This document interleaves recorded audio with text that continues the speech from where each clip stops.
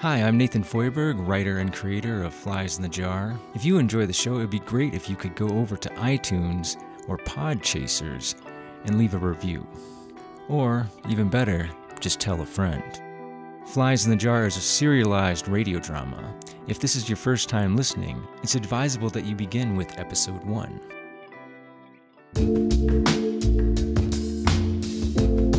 Previously on Flies in the Jar. It's a card game? A drinking game. How do you win? The person puking on the sidewalk in front of the bar is the winner. That's what I'm talking about. Two more shots. Driving through the dark, I heard it. My song, sung on the radio by another voice. Oh, sh- that's how you found out for reals? Ladies and gentlemen, we will be arriving in approximately 10 minutes. The captain has turned on the fasten seatbelt sign and we ask that everyone return to their seats. You really want to get rid of this person? Never see her again? Absolutely. Okay. Now tell her. I'll never see you again. I've got my foot on you! I'll never see you again! And now, an all new episode of Flies in the Jar. Flies in the Jar is based on true events.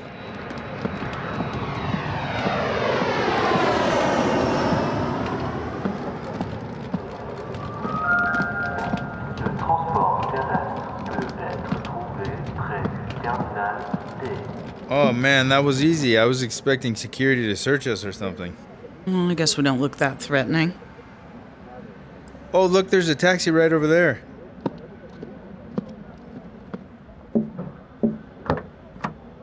Regarde-le, son ventre lui rentre à peine dans sa chemise.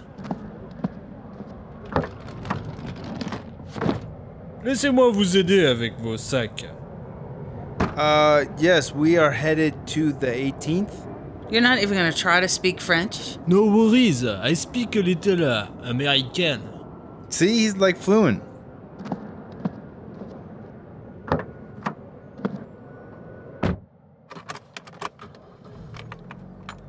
Okay, so we're headed to the Hotel des Perdus. Ouais, la rue de la Voyance. Come again?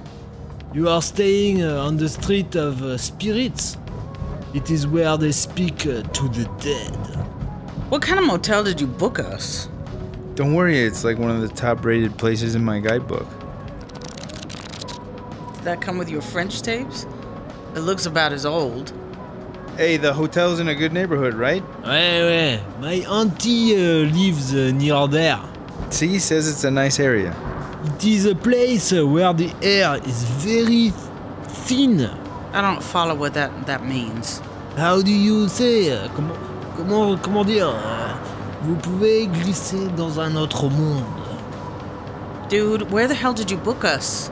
It's gonna be fine, Zen. There's like a dope fried chicken place right next door. That was your criteria. Find a hotel near a chicken joint. It is a very good chicken. Best in the city. See, he knows what I'm talking about.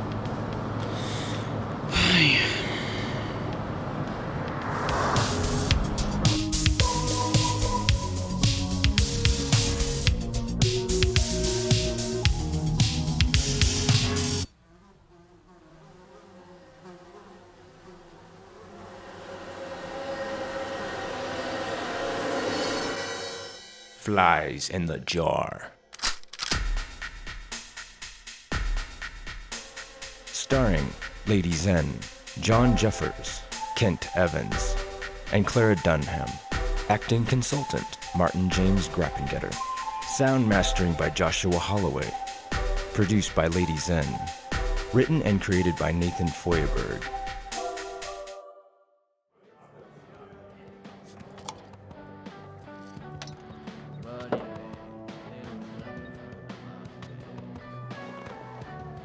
Can't believe you asked me to meet you in a bar. Hey, it's not just a bar. They sell fries here too, okay? Do you even remember our last date? Oh, Gerald told me that I passed out in front of O'Malley's. And that seems normal to you? No, I mean, I had to talk your friends into helping me carry you into a taxi. ah, I was wondering how I got home that night. It's not funny. When we got to your place, you dropped your keys and I had to search the front of the lawn because you were too drunk to find them. Stop laughing. I mean, come on, that's a little funny. I can't be with someone who is trying to destroy himself.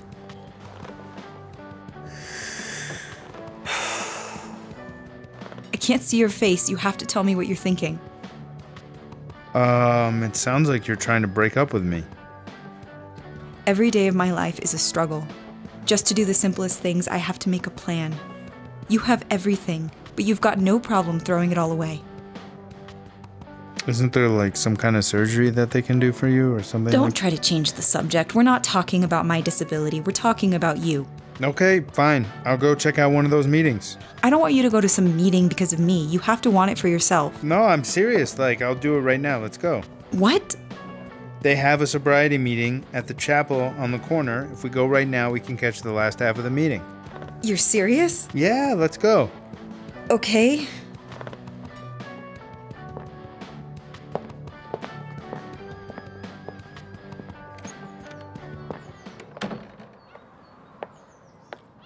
You know how you were asking if there was a surgery that could help me? Yeah. There is one they've been talking about. It's only for people like me who lost their sight after they were born. They basically inject bone marrow into your optic nerve.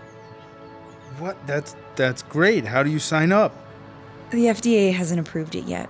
They might never approve it. You know what's crazy? Even if they do approve it, I don't think I'd go through with the surgery. What? What are you talking about? Why not? Everyone thinks being blind is a bad thing, but not seeing is a part of me. I'm not sure I'd want to change something that defines me.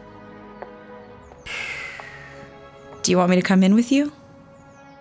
No. No, I should probably do this myself.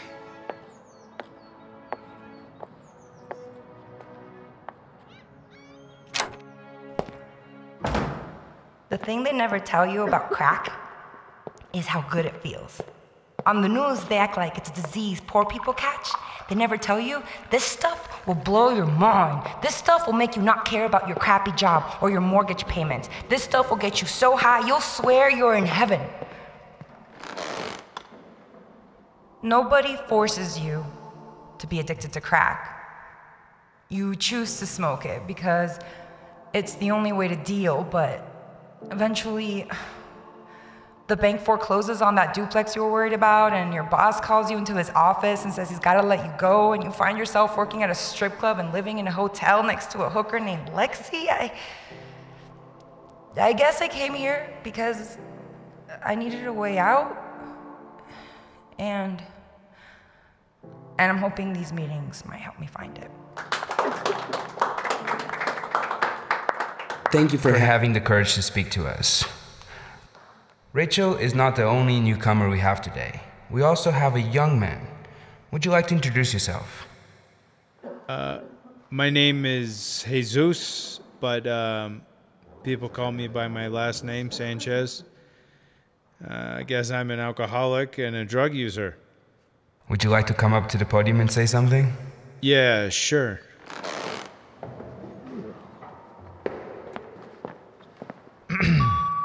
Uh, the first time I tried marijuana was when I was 13.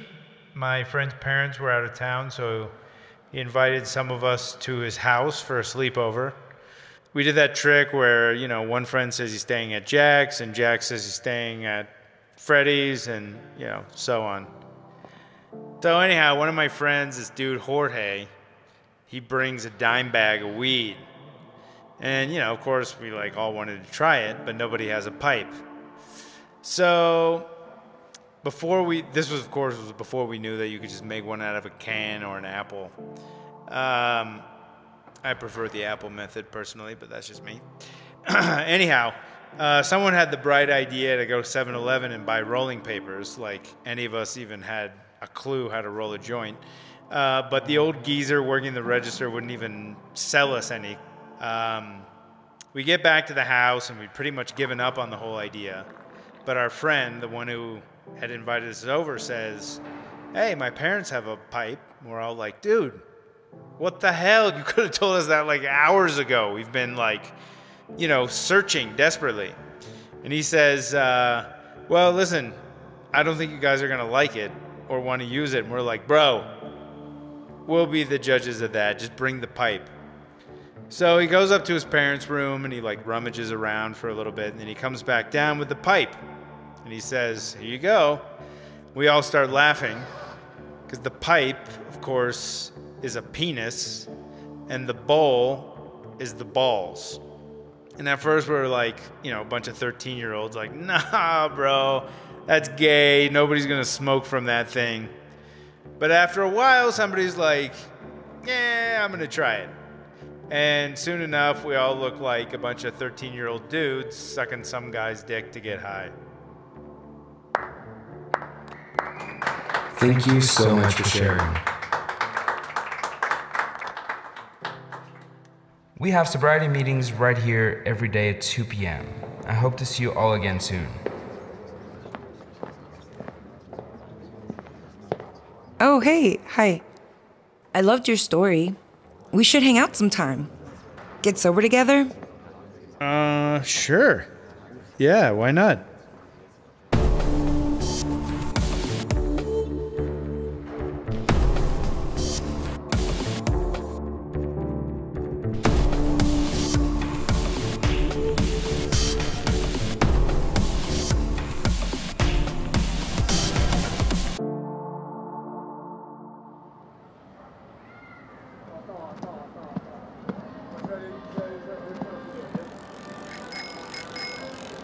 I'm about done with these bicyclists cutting us off.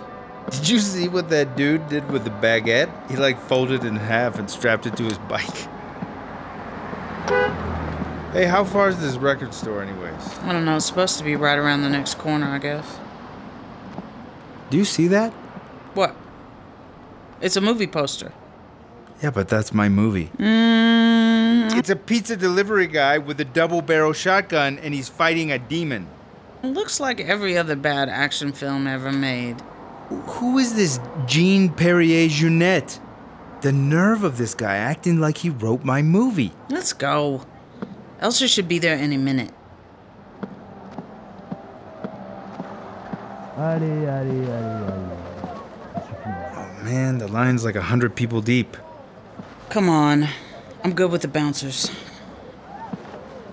Hé, hé, hé, ça suffit là. Um, excuse me, sir. Je m'en fous de qui tu es. Si tu veux ton CD signé, tu te mets dans la queue comme tout le monde.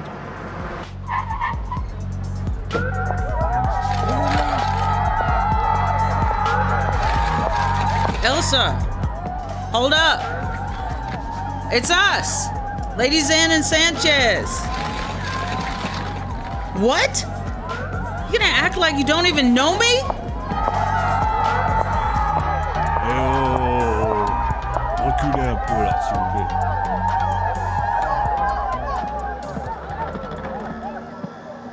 What the hell? She looked directly at me and didn't say a thing. I figured she'd deny stealing my music, but she acted like I wasn't even there. Well, lucky for you, I've got a tip on where she's staying, so my recommendation would be let's get a little latte and then we'll ambush her at the Maison des Éléphants de d'Or. You can go. I'm gonna wait. I'm gonna wait right here for her to come out. No, there's too many people here. She'll just think like you're one of her stupid fans or whatever. Dude, just go have some fun. Check out that big arch up the road. I'll catch up later. What? No, I'm not gonna leave you. Just go.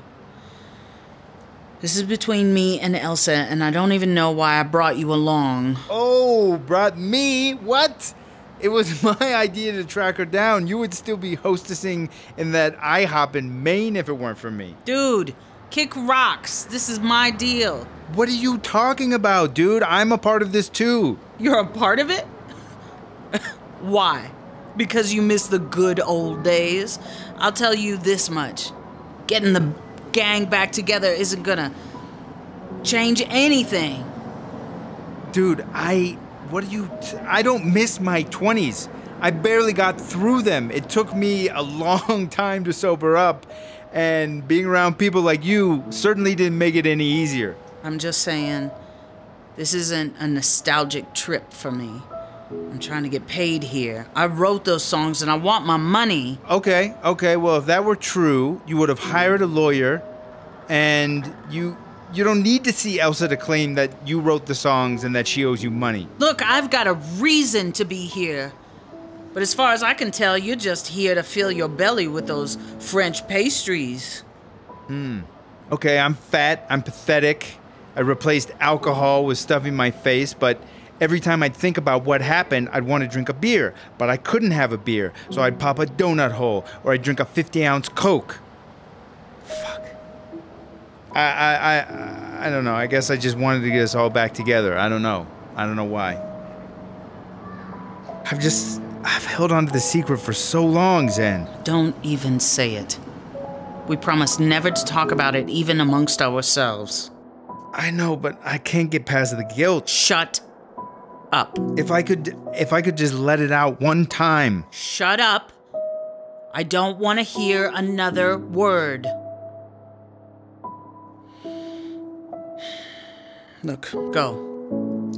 I'll meet you back at the hotel.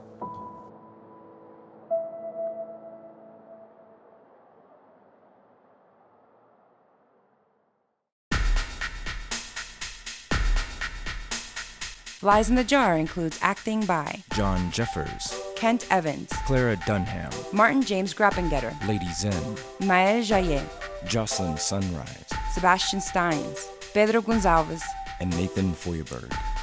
Sound mastering by Joshua Holloway. Produced by Lady Zen. Written and created by Nathan Feuerberg. Flies in the Jar is made possible by a team of voice actors and sound designers who have volunteered their time.